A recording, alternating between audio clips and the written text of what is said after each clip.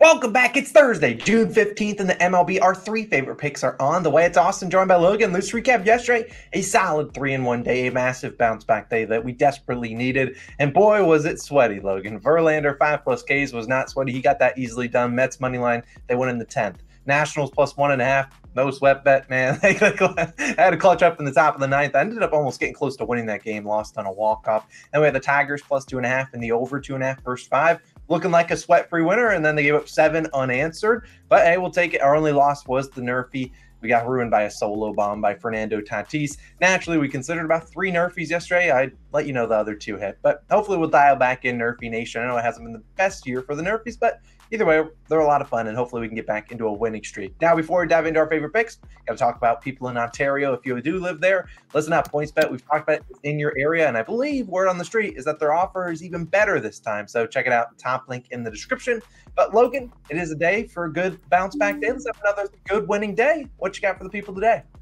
Yeah, let's string together some wins for sure. Now, I didn't like any sides in this one, and neither did you. So we're we're both on totals today, but I do like our picks. I think I think we can get it done. I'm going to the scene of the crime of the ner- the Nerfy crime yesterday. I'm going to the Guardians versus Padres game, and I'm taking the first five over four runs in this one. Minus 120 odds on, on Bet365 is currently your best value. Now, I do like it at four and a half as well, because that's probably what everyone's going to wake up and see on, on most books. But if I can line chop and get it at four, I'm, of course, I'm going to do it there. But I would avoid playing it on DraftKings, which has a, a four and a half at minus 125. Like, just wait till the odds shift on that one, because I, I don't like laying juice on the extra half because you get the poten- push potential at four but I still think there's a really good shot that this one does have at least five runs through five innings, which is what we would need to cash this bet.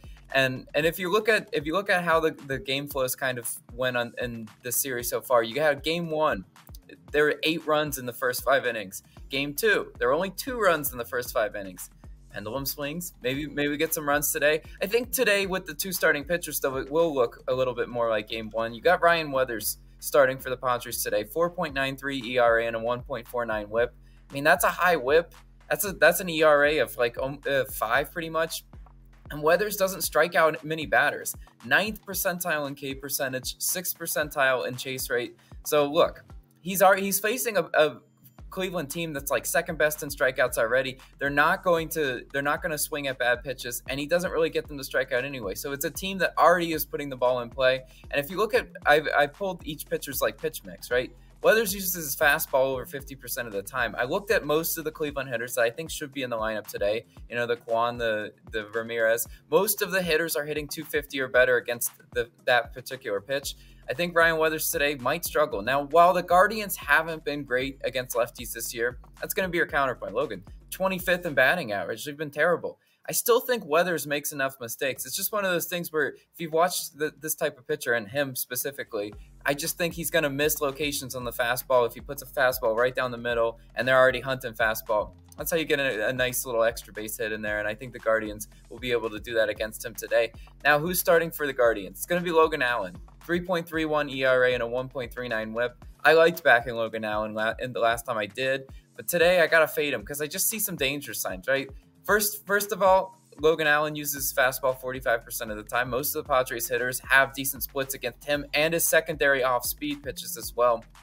I considered like if I was betting a total base prop, which I'm not, but I I don't bet those. But if you look at you know like a Juan Soto and Tatis, those those two have decent splits versus Logan Allen's pitch mix. So it's just something I noticed. I'm like, if they can do damage at the top of the order, I think Logan Allen might be in a little bit of trouble. He's he's always one of those pitchers that it seems like he's always got runners on first and second with, one, with zero or one outs.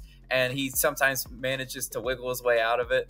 I don't know about that today, right? As a pitcher that uses fastball often, being 17th percentile in fastball velocity and 29th percentile in fastball spin, is a potential danger sign to me, right? Those those metrics are not as important as the others, but they still are one of those things that I'm like, hey man, if if your fastball isn't as as you know fast as as the others pitchers and the velocity isn't that high, could the hitter see it a little bit better?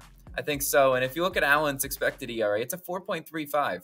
That's obviously higher than his actual ERA, and his expected slugging 34th percentile in expected batting average, 27th percentile. I'm just saying, I think he's he's one of those young pitchers that unfortunately is due a little bit of regression. And San Diego's 17th in batting average versus lefties ball isn't great on the season. they're getting better of late. 276 against lefties in their last three games. I think these Padres lineup can do some damage against Logan Allen. They're a tough lineup to pitch through. While they've underachieved most of this year, I still think that they have the bats to be able to do this one. I think four, uh, you know, asking for four runs for a push isn't asking all that much. Asking for five for the win is definitely manageable with these two pitchers. So I'm going to go ahead and take the first five over in this one. But Austin, you got another total pick for us. What are you going with? Yeah, so I'm going to go to a different game. It is a game that we considered making a, a, actual game pick on, but I'd rather take this pick. And I'm going to Tigers and Twins, and I'm taking the under at 8. It says minus 120 on DraftKings. It was at 8 on most books. I would not be surprised if this drops to 7.5 by first pitch. If it does happen to drop there, probably wouldn't play a full unit at 7.5. Probably drop it to either half or maybe 0.75 units, depending on how comfortable you are there. But I like it either way. Obviously, we're going to need it kind of to go under 7.5 to cash this bet, but we do have the eight push potential, which could happen if it's like a five three final score kind of thing. But let's talk about why we're in this one. And yesterday, the Tigers.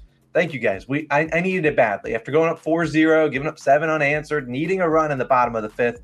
You got it done. And while I, I, I didn't expect you guys to get done. You did, and they were involved in two very high-scoring games, ten to seven and six to five yesterday in their doubleheader. I just don't think the runs are coming here today. And we've talked about this offense very inconsistent. So I love fading a Tigers offense, especially coming after their six game homestead stretch going on the road. Let's talk about who they're going to face for the first majority of the game. It's going to be Sonny Gray. He's going to start for the Twins, and he's been pretty good 2.25 ERA, 1.25 whip. He's been even better at home with a 1.71 ERA and 1.05 whip. And he's only allowing a 226 batting average this season. And only allowed one home run this season. We saw yesterday the Tigers doing a lot of damage against Spencer Strider, especially in my game via the home run ball. But Sonny Gray's been keeping the ball in the ballpark, and that's what you want to see. If for Tigers offense, that sometimes they just walk up swinging for the fences, I'd rather them have to string together two, three, four hits to put up some runs on Gray instead of you know one home run or maybe a two, two three run home run because those will be backbreaking when you're taking an under at eight. But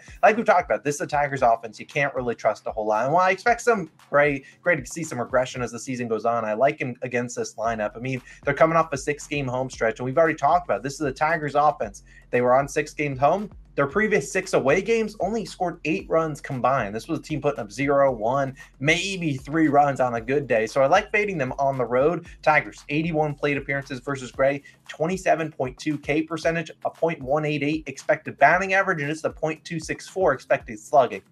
Look, Gray has kind of had their number. He pitched twice against Detroit last year. Six innings pitched, one earned run allowed, and seven innings pitched, zero earned runs. If we can get Gray to come out here and pitch pretty well, which the books are expecting him to, you can look at a strikeout prop, six and a, sitting at six and a half strikeout or strikeouts, and the juice is on the over. I think it was like minus 125. Gray's under six and a half Ks and five straight starts, so it's pretty clear they expect him to pitch pretty well. I think he can hold down this Tigers offense, but we need also a decent outing out of the other guy who's going to be Matthew Boyd. Now he's going to start for the Tigers. If you look at his numbers, 5.558 or 5.5 ERA and a 1.35 WHIP. His expected ERA is 4.20, so some regression is going to come his way. And for whatever reason, his home road splits are wonky from what you would expect from normal pitchers. But you look at him at home, 8.46 ERA and a 1.84 whip. On the road, where he finds himself today, 2.93 ERA and a 0.91 whip. Now, I doubt if you were to flash, just go to the future about four months from now, that his splits are exactly like that. But hey, if they are, I, am down for it because we need a decent outing out of him. And I like his splits against this Twins offense, which has really struggled against the uh, against the lefties. Which Boyd is a lefty, and this is also you know Boyd obviously been good on the road. The Twins have seen him before, 60 plate appearances versus Boyd, 25% strikeout percentage, just a 210 expected batting average. And like I talked about, Twins third worst batting average, second worst on base percentage, and fourth worst OPS versus lefties this season. Look, Boyd had a rough outing. He had a couple rough outings before the season. Normally dials it back in. His last start was pretty bad. So I think he's better here today. We also look at when we get to the bullpens outside of Boyd and Gray. Twins, sixth best bullpen ERA. Tigers, 14th best. Sure, there's going to be some runs at opportunities probably in this game, but and while you can pivot to maybe taking the first five under, there's been too many occurrences that where you take a first five under, they go over in the first five, and then the runs just dry up. So I'd rather go the full game, taking the under at eight. Like everyone's going to be on the Twins today at minus 200. That's a free, put it in your parlay, set it and forget it. Yeah, I feel like whenever the Twins are in parlays, their offense does not show up. So I rather fade these two offenses. Tw- Tigers on the road, Twins at home against a lefty. Give me the under eight runs in this one. I think it's a pretty good look. But Logan, you know what time it is. It's Nerfy Nation time, baby. Get the flags out. We need six quick outs in the worst way. And look, we need this one badly. If we lose two more in a row, Nerfy Nation will probably go on a hiatus for a little bit of time. But look, we love doing these. We obviously were super profitable this year, this our last year. This year obviously hasn't been as good, but we're waving the flags today, and we're going to go to a game we just talked about. Tigers and Twins taking the no run first inning minus 115 on FanDuel. Now, yes, it's dangerous to double dip, and I wouldn't be surprised if there's some runs early in this one, but we really like the splits here. And as for all the reasons I already talked about just a moment ago, we like the under in this game. So hopefully it starts off with you know, no runs in the first inning. And if they score a lot of runs in the first, we might be in a world of pain. But let's obviously talk about Sonny Gray. We've talked about his splits versus Tigers offense, but we also want to talk about him in terms of the first inning. 12 and 1 on no one first innings. He's nerfed in nine straight games. Tigers 22nd in first inning runs. They score much more, much less on the road, which is where they find themselves today. We've talked about how bad they have been recently on the road. So look great. I need a good performance out of you, especially in the first inning. Go get me three outs, and then who's on the other side, Logan? Yeah, it's Matthew Boyd, as you already talked about. Matthew Boyd, 10 and 2 on Nerfies this season. He's Nerfied in five straight, which is what you'll want to see, right? He's facing this Twins offense 15th in first inning runs, 26 in first inning runs at home, which is a bit surprising, right? If it can survive the the power at the top half of the order, you know, with the Twins and not a solo blast, right? Because we already got solo blasted yesterday. Come on, Nerfy gods, be a little bit nicer to us today. The over under set to seven and a half in that eight range, as Austin did pick. So I, I do think this one stands a really good chance of cashing. Yes, it is always dangerous double dipping, but if you believe in a pick enough, then you should double down on it a little bit. Nerfy Nation, see if we can get one. Yeah, we desperately need this one to cash, and we need a lower scoring game than that Tigers Twins. Let's cash the Nerfy. It's that back to back winning days, and that broom is getting dusty over there. I need to bring it out, and hopefully today we get, or tomorrow we get to bring it out. But either way, let's have another winning day. If you want to check out that Ontario offer, it is down below in the description. If you live there, definitely sign up for PointsBet, one of the better books that you guys have available to you. Let's have a great Thursday, Logan. We'll see you guys back again for Friday for some more picks. Peace.